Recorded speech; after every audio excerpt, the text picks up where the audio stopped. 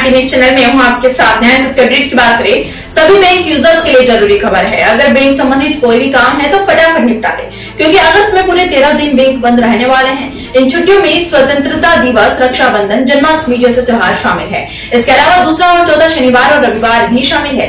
आज इकतीस जुलाई को भी बैंक बंद है, क्योंकि आज रविवार है। वहीं अगस्त में लगातार बैंक बंद रहने से बैंकिंग संबंधित जैसे चेकबुक पासबुक एटीएम और अकाउंट और ट्रांजेक्शन के काम प्रभावित हो सकते हैं। हालाँकि ऑनलाइन सेवाएँ जैसे गूगल पे फ़ोन पे पेटीएम इंटरनेट बैंकिंग सेवाएँ जारी रहेंगी।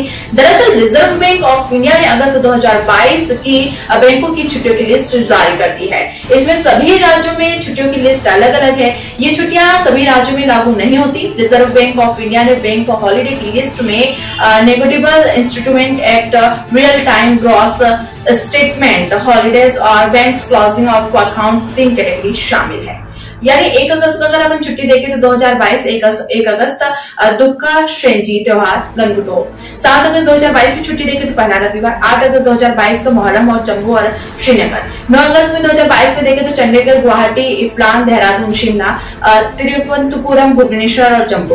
पुणजी शिलांग को छोड़कर पूरे देश में छुट्टी रहेगी। वहीं 11 अगस्त 2022 को देखें तो रक्षाबंधन पूरे देश में छुट्टी रहेगी। तेरह अगस्त 2022 में देखें तो दूसरा शनिवार होगा और चौदह चौदह अगस्त 2022 में देखें तो रविवार होगा। वहीं पंद्रह अगस्त 2022 में देखेंगे तो स्वतंत्रता दिवस होगा। सोलह अगस्त 2022 में पाँच से नौ वर्ष मुंबई और नागपुर में छुट्टी रहेगी। वहीं अठारह अगस्त 2022 में जन्माष्टमी पूरे देश में छुट्टी होगी। इक्कीस अगस्त 2022 में रविवार को होगा। अट्ठाईस अगस्त 2022 में भी रविवार होगा। वही इकतीस अगस्त 2022 में गणेश चतुर्थी गुजरात, महाराष्ट्र, कर्नाटक में बैंक बंद रहे तो ये तब तक अपडेट लगातार जानकारी के लिए बने रहे वही तो एमपी के साथ। जय हिंद, जय भारत।